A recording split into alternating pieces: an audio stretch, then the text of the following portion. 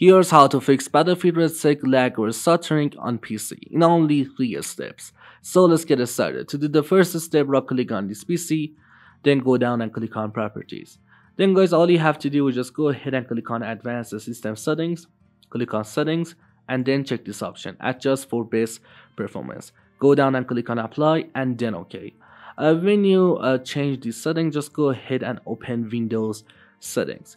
Now guys, uh, to do the second step, just go ahead and turn on game mode from over here and then type um, power options right over here or power and sleep settings and then just go ahead and click on additional power settings from over here. If you have PC, you should be able to see the option called high performance right over here.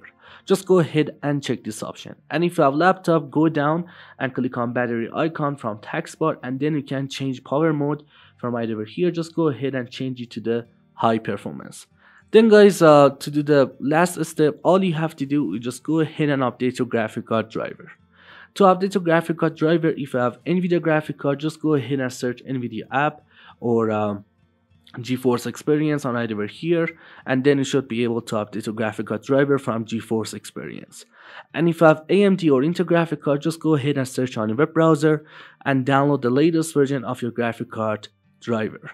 Make sure to update your graphic card driver. And also guys, make sure to update Windows. Just go ahead and type check for updates on right over here and then update Windows to the latest version from right over here. Anyway, thanks for watching video. I just do help you to fix this issue. Peace out.